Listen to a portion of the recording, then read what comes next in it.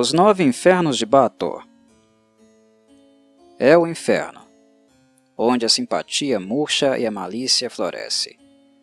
É o lar dos diabos. Para os leigos em Dungeons Dragons, lembramos que, neste universo, demônios e diabos são duas castas diferentes e inimigas. Os demônios habitam o plano externo conhecido como as camadas infinitas do abismo, e os diabos, os nove infernos de Baator. O plano dos diabos é o lugar onde o império da lei revela o coração do mal. Os nove infernos de Baator, às vezes chamados simplesmente de Baator ou mesmo inferno, satisfazem melhor a imaginação dos viajantes, a ganância dos caçadores de tesouros e a fúria da batalha dos paladinos. É o último plano da lei do mal, a epítome da crueldade criada e premeditada. Todos os diabos dos nove infernos obedecem a uma lei superior a eles, mas tudo o que realmente interessa é que eles se irritam e se rebelam em sua própria casta.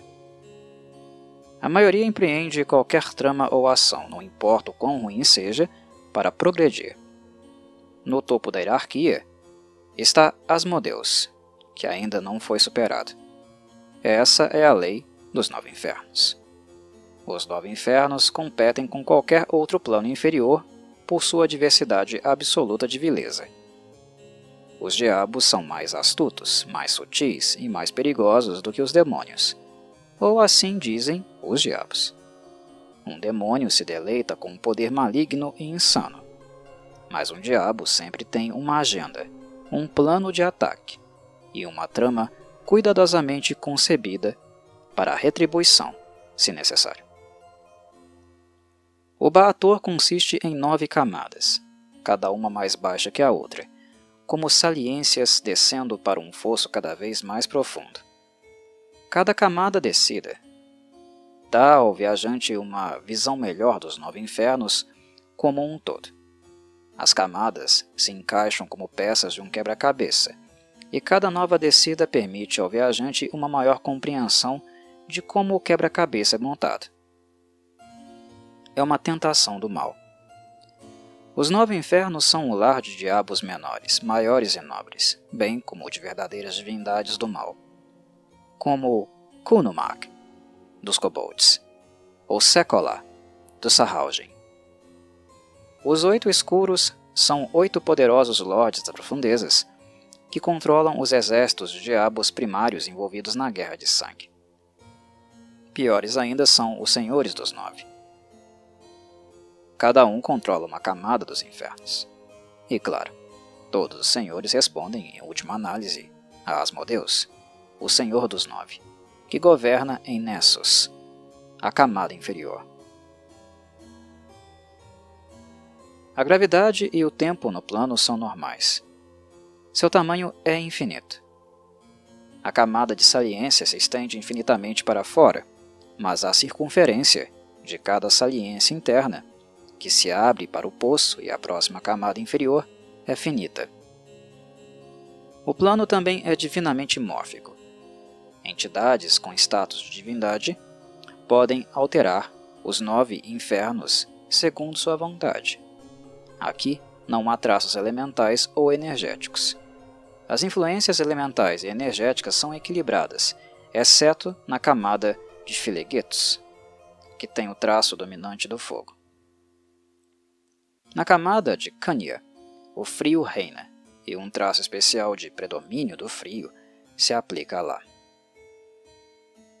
O rio Styx flui através da camada superior dos nove infernos, Avernus, assim como faz com todos os planos inferiores.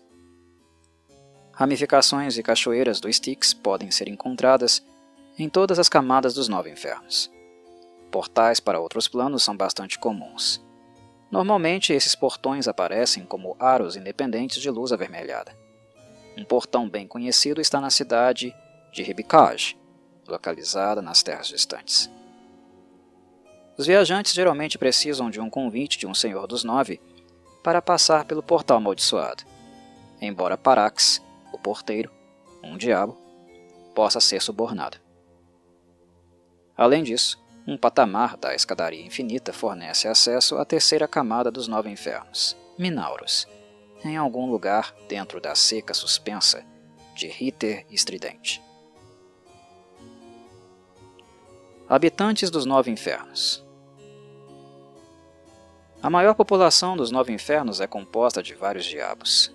Barbazo, Cornogons, Erines, Gelugons, Ramatula, Nazogons, Ozelufs, Lordes das Profundezas, Spinagons e incontáveis outros na hierarquia diabólica.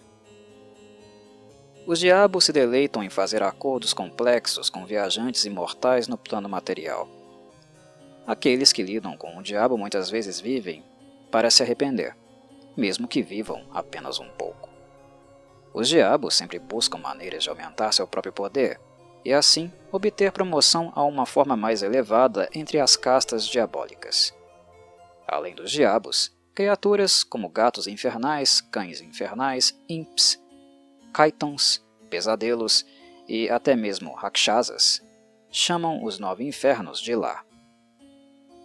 Alguns mortais resistentes estabeleceram lares permanentes no plano, vivendo em poderosas fortalezas, defendidas por diabos menores, legalmente vinculados a contratos de curto prazo. Vários tipos de peticionários são encontrados nos nove infernos. Almas más, orgulhosas e ambiciosas, despreocupadas com os outros e desprovidas de empatia, encontram seu caminho até lá. A maioria dessas almas assume a forma de sombras brancas fantasmagóricas, conchas de suas formas mortais, que os diabos cruelmente moldam e as transformam em formas tortuosas e agonizantes de horror.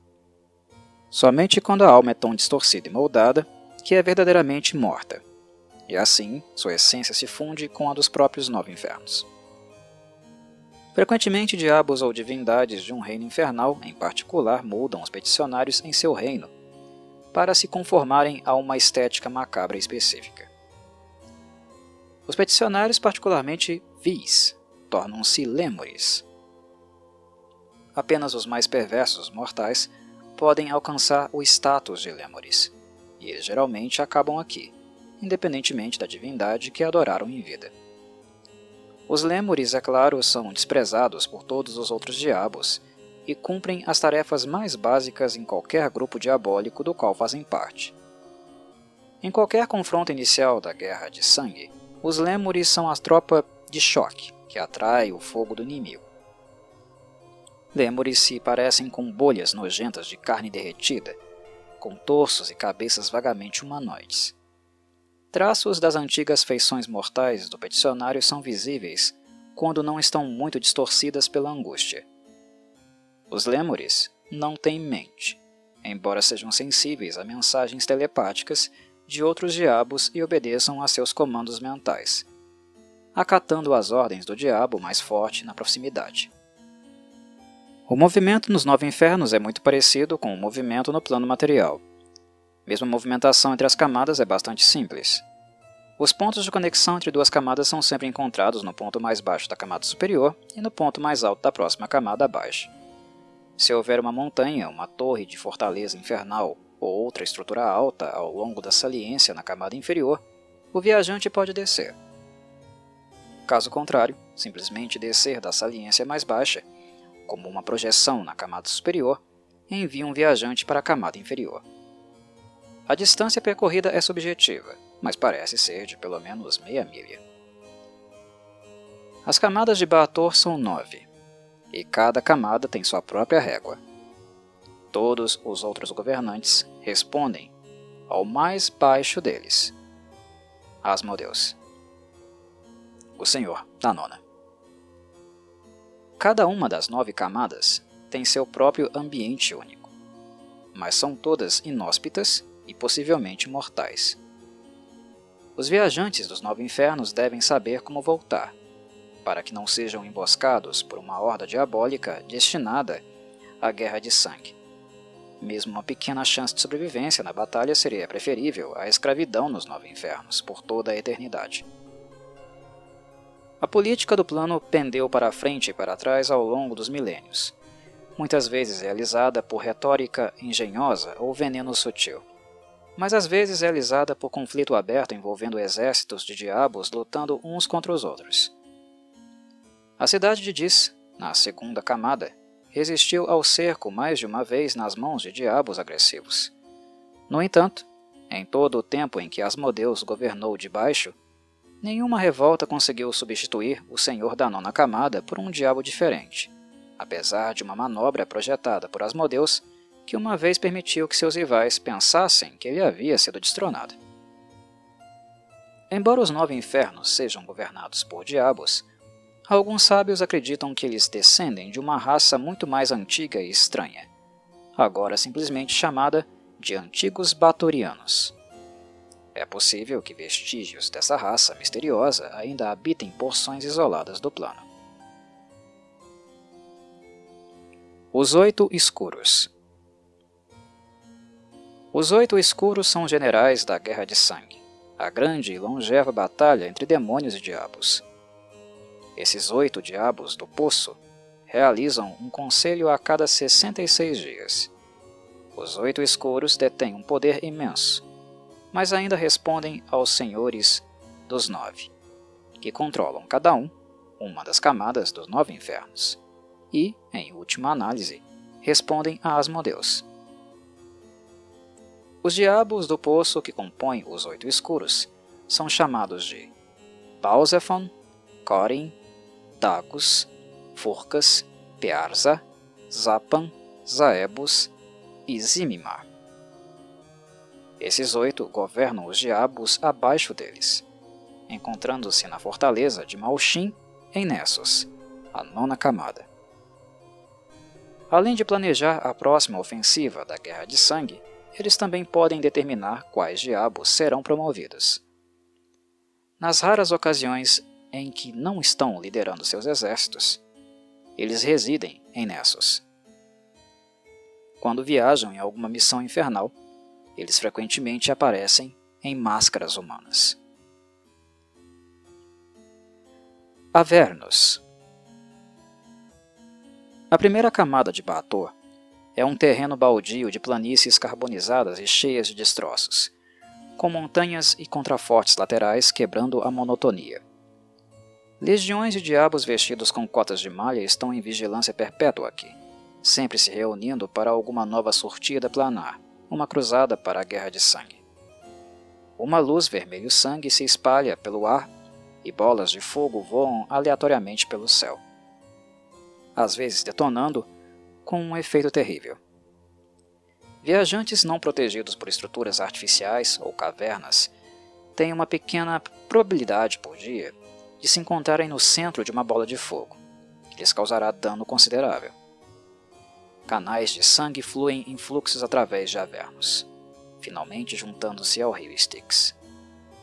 A origem do sangue é desconhecida, embora os diabos digam que é provavelmente o sangue de todas as vítimas anteriores de Avernus. Cidadela de Bronze O que pode ter sido uma cidadela construída de bronze agora é uma cidade bruta e sem imaginação, cobrindo dezenas de quilômetros quadrados e apresentando doze paredes de anéis concêntricos, cada uma cheia de máquinas de guerra. A cidade está cheia de peticionários, tanto lêmures quanto conchas de almas.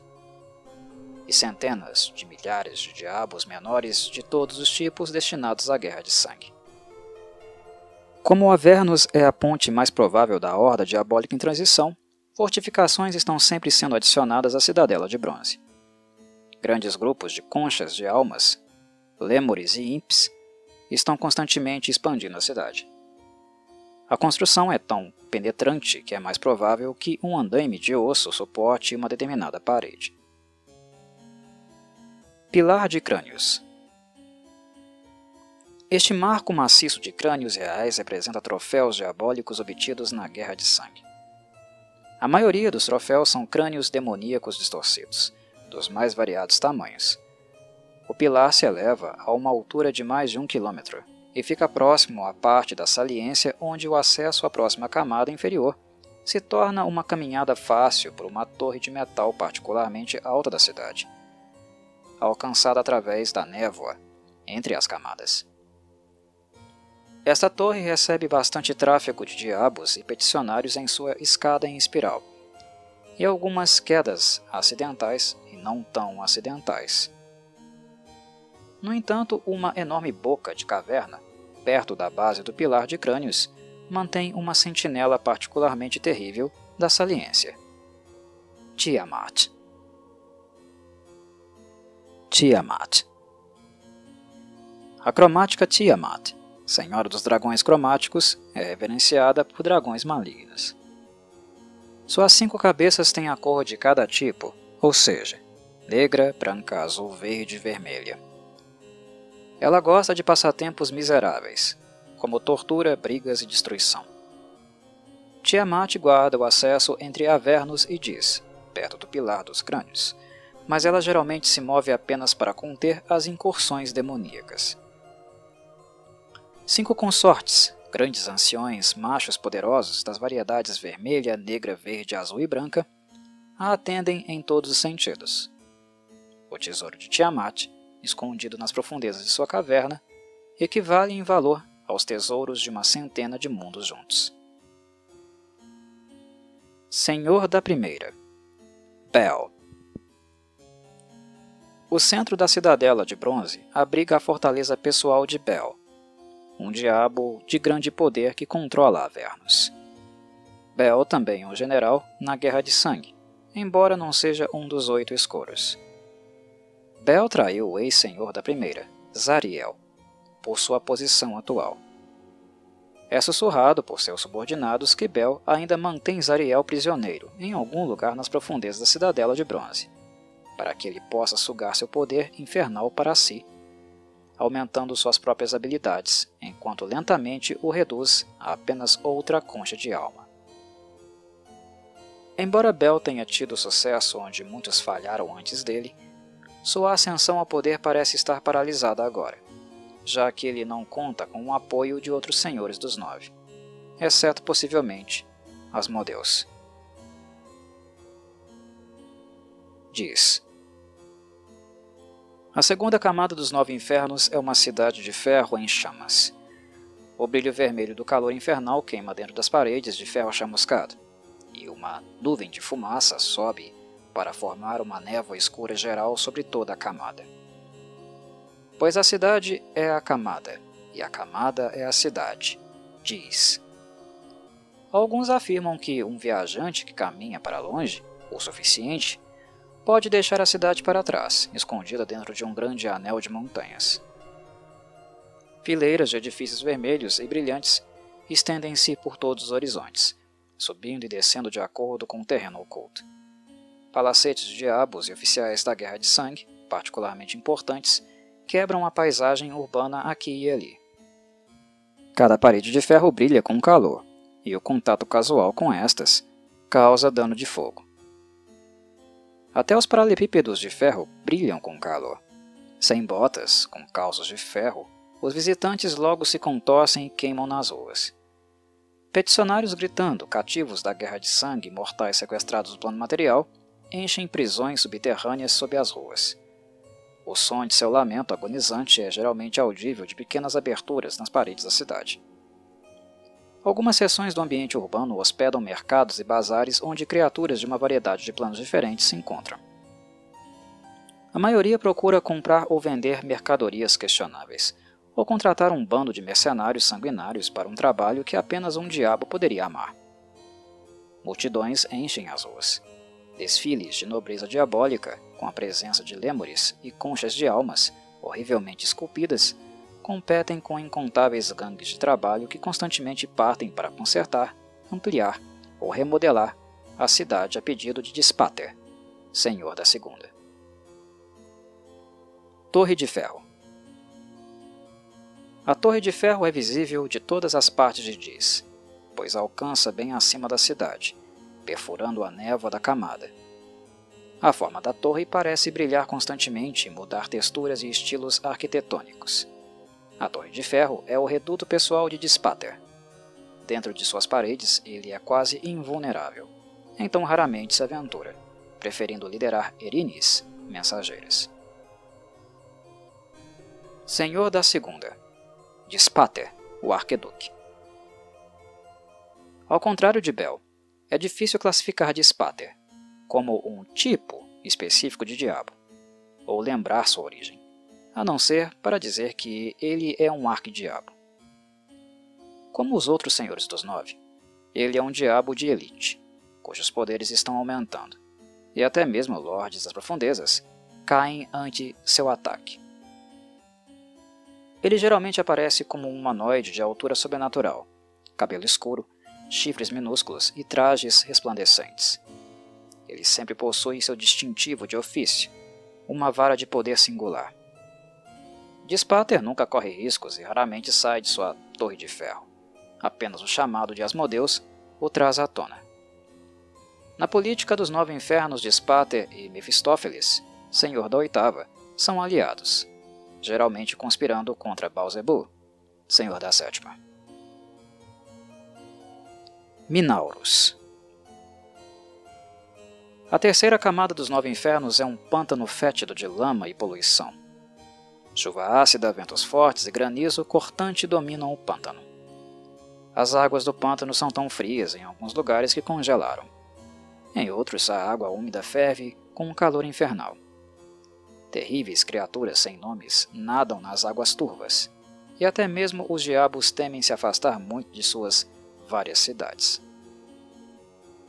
Onde a camada é mais baixa, um cotejar constante de água escorregadia cai em uma longa queda até a quarta camada. Muitos viajantes peticionários perdidos foram acidentalmente apanhados naquela longa e letal queda para Filegetus. A cidade de Minauros. Esta metrópole de diabos dá nome à camada.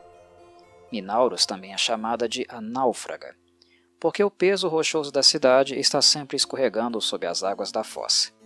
Somente o esforço eterno de uma torrente de peticionários e escravos a impede de finalmente sucumbir ao pântano, mas ainda assim a cidade afunda um pouco mais na lama a cada ano. Disse que as ruínas abaixo da cidade contêm grandes riquezas. É possível que as ruínas abaixo representem uma cidade retirada das terras distantes há milênios.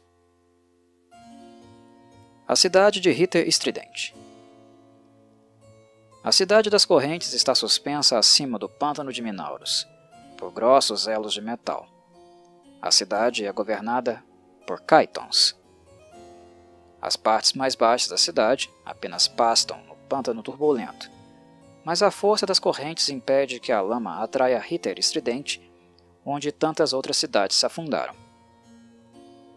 Ninguém sabe a que estrutura as cadeias de suspensão estão finalmente conectadas, embora uma boa aposta seja que de alguma forma elas perfurem o limite da camada e se conectem ao lado inferior de Diz, acima. As nuvens carregadas de granizo escondem a verdade da questão. Embora os Kaitons geralmente se considerem iguais, eles geralmente preferem um Kaiton particularmente inteligente chamado Quaimath. Ele mora em Panos Kitel, uma estrutura semelhante a uma catedral com três torres no coração de Ritter Estridente. Senhor da Terceira, Mamon, o Visconde. Mamon é um arquidiabo e, portanto, possui quase um poder de nível divino. Na forma, ele se assemelha a uma serpente de 9 metros de comprimento com tronco, cabeça e braços humanos. Ele empunha uma lança parecida com um arpão, embora sua magia seja a menor das habilidades impressionantes de Mamon. Ele governa do centro da cidade de Minauros, habitando uma estrutura semelhante a um mausoléu de proporções maciças semelhantes. Mamon é o traidor de um traidor. Embora ele uma vez tenha se aliado a Dispater e Mefistófeles contra Asmodeus, ele foi o primeiro a se humilhar perante o Senhor da Nona quando Asmodeus finalmente provou ser vitorioso no final de uma rebelião fracassada chamada de o acerto de contas. Poucos dos outros senhores confiariam em Mamon novamente, tornando-o menos provável de se envolver na próxima revolta interna. Fileguetos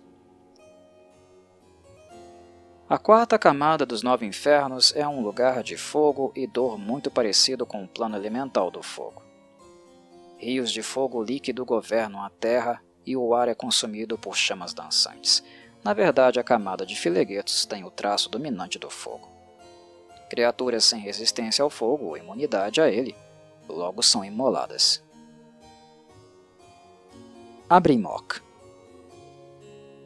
Essa cidade de magma endurecido, obsidiana e cristal fica na caldeira de um vulcão quase extinto.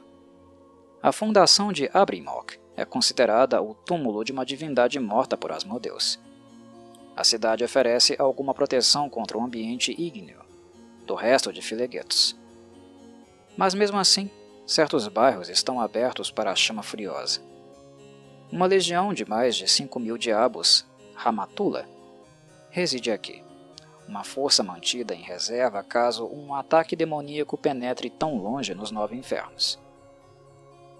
Um Lorde das Profundezas, chamado Gazra, comanda os diabos Amatula, mas ele responde diretamente aos senhores da quarta, Fierana e Belial.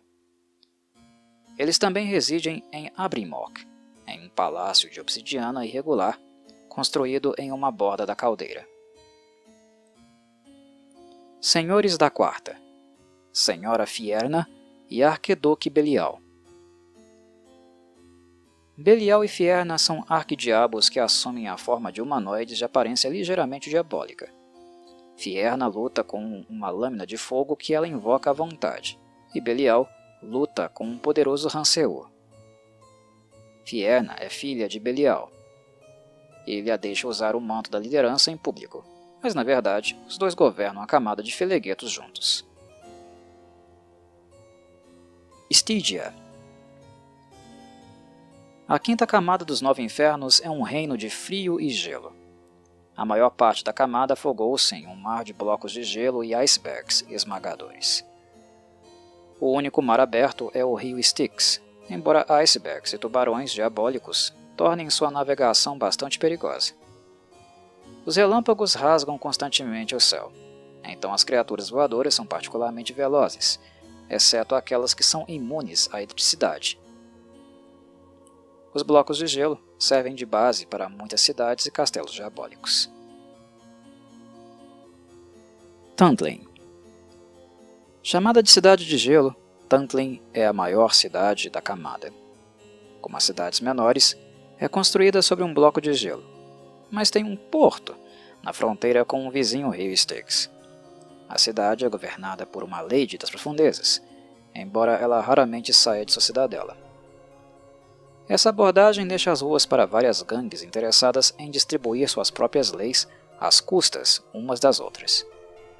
As gangues são uma variedade heterogênea de diabos, embora alguns mortais planares de temperamento maligno também se unem com as matilhas. Apesar da desordem nas ruas, Tantlin na verdade serve como uma parada de comércio entre planos, devido à sua localização no Styx. Os residentes de Tantlin não podem esquecer por muito tempo do governante da camada, Levistos, porque ele está congelado no coração de um iceberg, a tumba de Levistos, que flutua no meio do porto. Apesar de sua imobilidade, Levistos está totalmente ciente dos eventos que ocorrem em sua camada e é capaz de se comunicar telepaticamente com outros diabos de Stygia, à vontade, em um raio de 16 quilômetros. Cheirusk. Este reino subaquático é acessível por uma fenda entre dois icebergs não muito longe de Tuntlin.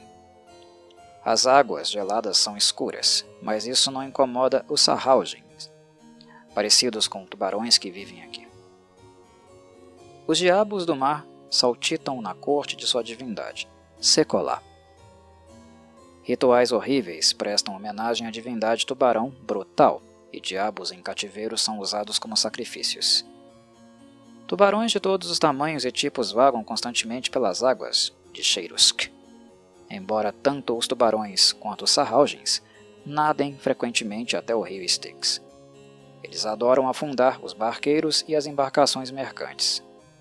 A bênção de Secolar é suficiente para tornar os invasores imunes a influência das águas do Styx por um curto período de tempo. Senhor da Quinta Príncipe Levistos Ninguém sabe como é a aparência de Levistos, porque o príncipe está congelado no fundo de um iceberg. Visto de fora, o príncipe parece um grande coágulo escuro percebido turvamente através do gelo. Asmodeus originalmente aprisionou Levistos no gelo por uma traição passada. Embora ele permita que o príncipe controle Stygia por meio do contato mental com outros diabos, Asmodeus não libertará Levistos. Apesar de sua prisão, as tramas de Levistos são profundas. Se Levistos se libertar, sua vingança sobre os outros senhores dos nove infernos, especialmente Asmodeus, sem dúvida virá em seguida. Malbolge A sexta camada dos nove infernos é uma encosta rochosa sem fim. Cascatas de pedra são frequentes, destruindo tudo em seu caminho. Acima, o céu ferve com cores leprosas. Os diabos desta camada se abrigam em fortalezas revestidas de cobre, projetadas para canalizar e desviar os frequentes fluxos de rochas. No entanto, nada pode resistir à pior das avalanches.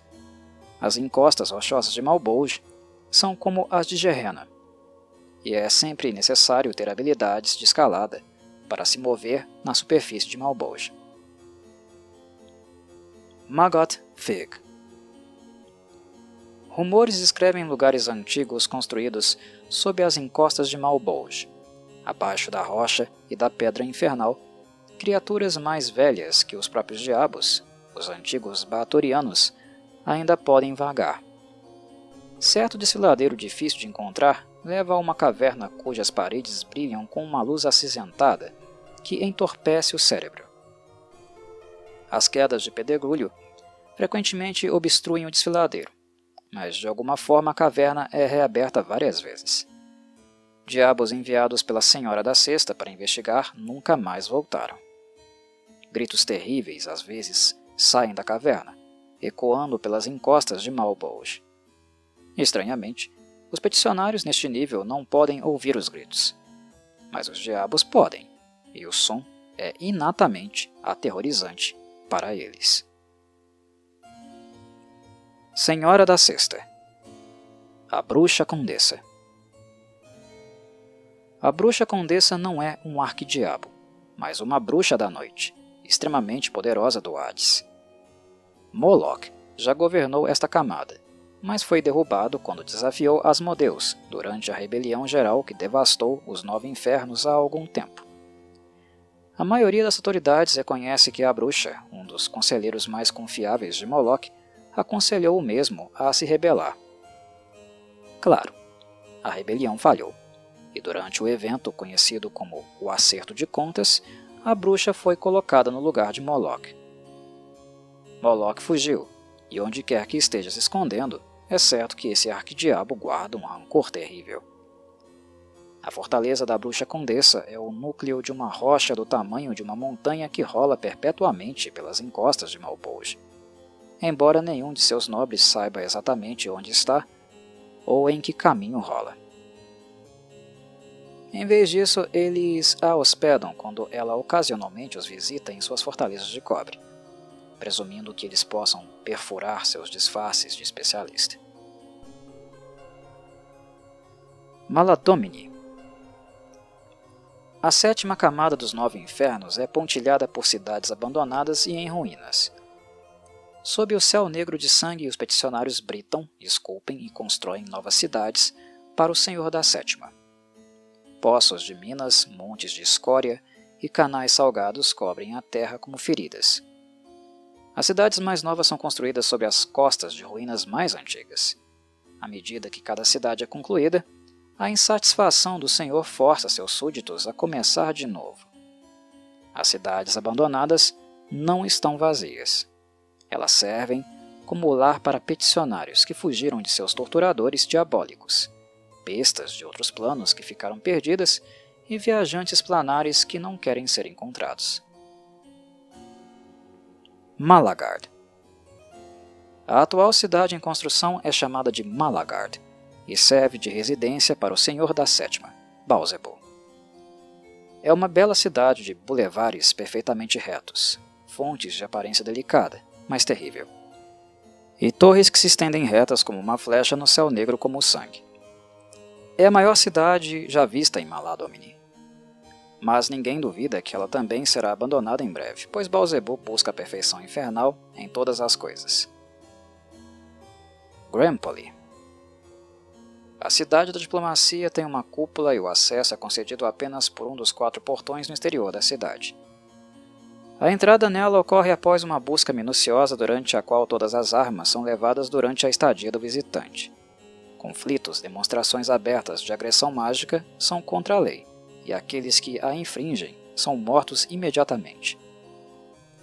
A escola política dos Nove Infernos, em Grempoli, é onde a nobreza diabólica empreendedora vem para aprender sobre a traição e o engano. Uma Erini, chamada Misden distorce palavras, governa Grempoli. Senhor da Sétima, Balzebu, o Arqueduque. Uma vez, Balzebu foi um arconte de Celeste chamado Triel, mas ele foi lançado nos Nove Infernos. Asmodeus rapidamente promoveu Triel à casta diabólica em um ritual terrível. O impulso implacável de Balzebu para a perfeição serviu-lhe bem ao escalar as fileiras da diabrura, culminando na ascensão dele até o título de Senhor da Sétima. E Balzebu não apenas alcançou seu senhorio, ele depôs o senhor anterior, e eliminou todas as menções a essa entidade. Deixando para trás seu antigo nome e sua antiga lealdade, Balzebu também é chamado de Senhor das Moscas, porque nem mesmo uma mosca pode escapar de sua rede de intrigas. Como praticamente todos os outros senhores, Balzebu certa vez conspirou contra Asmodeus durante a rebelião fracassada e o expurgo conhecido como um acerto de contas. Para punir Balzebu, Asmodeus transformou seu corpo anteriormente angelical em uma forma derretida, semelhante a uma lesma. Agora Balzebu conspira abertamente apenas contra Mefistófeles, senhor da oitava. Mas sua raiva imorredoura ainda queima por Asmodeus, assim como sua ambição imortal pelo trono do Rei dos Nove Infernos. Kanya a oitava camada dos nove infernos é outro reino de frio, mas o frio de Cânia é tão penetrante que é como uma coisa viva. As geleiras que se movem tão rápido quanto um homem correndo trituram e se chocam umas contra as outras, enviando avalanches de neve sobre qualquer criatura infeliz o suficiente para ser apanhada entre os titãs do gelo em batalha. O frio gélido penetra até mesmo nas roupas naturais mais quentes. Os transeuntes recebem danos massivos no tempo em que permanecem em uma área desabrigada em Cânia. Geleiras em movimento costumam revelar cadáveres de mil anos, vítimas do frio impiedoso. Mefistar Uma joia branco-azulada feita de gelo esta poderosa cidadela ergue-se sobre uma geleira igualmente impressionante, chamada Nargos. Nuvens de vapor rolam constantemente pelas laterais da ponta de gelo. O movimento da geleira é controlado pelo senhor da cidadela, Mefistófeles, e Nargos transbordou e destruiu muitas geleiras menores, bem como sua parcela de exércitos diabólicos rivais apanhados de surpresa em Cânia.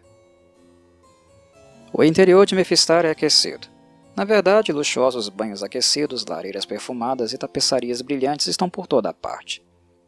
Os nobres Gelugon residem no caloroso santuário de Mefistar, à espera dos caprichos de seu senhor Mefistófeles, que é o senhor da oitava. Formas no gelo Algumas geleiras em Cânia entombam formas alienígenas congeladas no seu âmago. A geleira distorce a visão, então é difícil distinguir exatamente o que está enterrado em uma prisão tão gelada. Alguns dos borrões são aparentemente devas e arcontes congelados no local lutando contra criaturas espinhosas de origem desconhecida. Outras formas são cidades abandonadas de design prosaico ou estranho. O fosso Grandes geleiras formam uma saliência em torno de um fosso escuro com várias centenas de metros de diâmetro. O fosso totalmente escuro é o acesso principal até a camada mais baixa dos nove infernos. Uma escada guardada por diabos corta para frente e para trás a face de uma geleira, e em cada patamar está uma torre de guarda eriçada de Gelogons. Claro, pode-se renunciar às escadas e mergulhar diretamente no fosso. No entanto, uma corrente descendente, sobrenaturalmente forte, torna qualquer tipo de voo uma proposição arriscada. Os voadores devem possuir reflexos impressionantes quando entrarem pela primeira vez na corrente descendente, ou serão lançados brutalmente no lado gelado do fosso, sofrendo danos mortais. Caso tenham sucesso, eles conseguirão encontrar um túnel de ar estável dentro do turbilhão e poderão descer para Nessos normalmente. Senhor da Oitava Mefistófeles Mefistófeles uma vez arquitetou seu próprio golpe, quando foi substituído pelo barão Mollycrot. No entanto, Mollycrot era secretamente o próprio Mefistófeles, que deu fim a essa duplicidade assim que ele mesmo ceifou as vidas dos conspiradores. O Senhor da Oitava aparece como um humanoide de 2,70 metros de altura com pele, chifres e asas vermelhas como um inferno. Ele porta um ranceor mágico que queima eternamente. Prefere se cobrir com capas dramáticas tão negras quanto o vazio mais profundo. Como os outros arquiduques dos nove infernos, Mefistófeles não conseguiu derrubar o governo de Asmodeus. E como muitos outros arquiduques, ele manteve sua posição quando o julgamento acabou. Seu maior rival é Balzebu, e sua corte está repleta de tramas contra o Senhor das Moscas. Nessos A nona camada é o reino mais profundo dos nove infernos, uma planície quebrada por fendas mais profundas do que a mais profunda fossa oceânica. Muitas das ravinas e desfiladeiros aqui orientam milhares de quilômetros em pedras mortas e diferenciadas. A maioria das trincheiras parece natural, mas algumas parecem ter sido cortadas ou explodidas na terra. Rumores dizem que uma ramificação do Styx flui aqui e ali, caindo em trincheiras e escorrendo pela camada. Poucos sabem como chegar a este afluente, se é que ele existe. Malshin uma fenda de incrível profundidade e largura fica imediatamente abaixo do limite da camada entre Cânia e Nessos. O fosso em Cânia leva a Malshin, em Nessos. Malshin, a cidadela do inferno, surge em sua beleza escura, elegante e diabólica da trincheira. A fortaleza é monstruosamente grande, elevando-se quilômetros acima da planície. Mas, como um iceberg acima da água, suas torres e fortificações visíveis são pequenas em comparação com os vastos corredores contidos na trincheira. Malshin é a maior cidadela conhecida nos planos exteriores. É grande o suficiente para abrigar milhões de diabos, um exército maior do que qualquer outro armado na Guerra de Sangue. Asmodeus, mestre de Malshin, senhor da Nona e indiscutível rei dos Nove Infernos, mantém essas hordas em reserva para uma batalha cataclísmica que ele prevê que irá diminuir as manobras mesquinhas da Guerra de Sangue. A cidadela é tão vasta que é quase impossível de mapear. Os segredos de Malshin são conhecidos apenas pelo próprio Asmodeus. A Espiral da Serpente Rumores brutalmente reprimidos sugerem que há mais em Asmodeus do que ele admite. A história diz que a verdadeira forma de Asmodeus reside na fenda mais profunda de Nessos, chamada de a Espiral da Serpente. A forma vista por todos os outros diabos dos Nove Infernos na fortaleza de Malshin seria na verdade um uso altamente avançado de magia de projeção de imagem, ou um avatar de algum tipo. A fenda secreta, formada pelo corpo em queda livre de Asmodeus quando ele chegou pela primeira vez nos Nove Infernos, espirala para dentro ao longo de centenas de quilômetros. Sua forma titânica de quilômetros de extensão ainda repousa aqui, e suas feridas ainda não cicatrizaram. Seu sangue negro, como ácido, se acumula nas cavidades da fenda, uma substância mais suja do que asquerosa. De onde caiu Asmodeus? Ele já foi uma divindade maior expulsa de Elysium, ou Celeste? Ou ele é mais velho ainda, como o boato sugere? Talvez ele represente alguma entidade fundamental cuja mera existência coloca o multiverso em sua configuração atual. Ninguém que conta a história da verdadeira forma de Asmodeus vive mais de 24 horas depois de repeti-la em voz alta. Mas pergaminhos empoeirados em bibliotecas difíceis de alcançar, como a cidadela de Demogorgon no Abismo, ainda registram esse conhecimento a menos que seja pura fantasia, é claro. Senhor da Nona, Asmodeus, Rei dos Nove Infernos. Asmodeus é, no mínimo, um arquidiabo, mas ele poderia possuir o poder de uma divindade verdadeira. Ele mora em Malshin, mas raramente é visto. Somente quando a elite dos Nove Infernos se reúne em qualquer uma das cem camadas da audiência, Asmodeus torna sua presença conhecida, geralmente na forma de um humanoide pouco atraente com cabelo preto, cavanhaque preto e olhos de fogo. Asmodeus foi desafiado muitas vezes, sendo uma delas durante a rebelião de todo o inferno, chamada o Acerto de Contas. Mas ele nunca foi derrotado.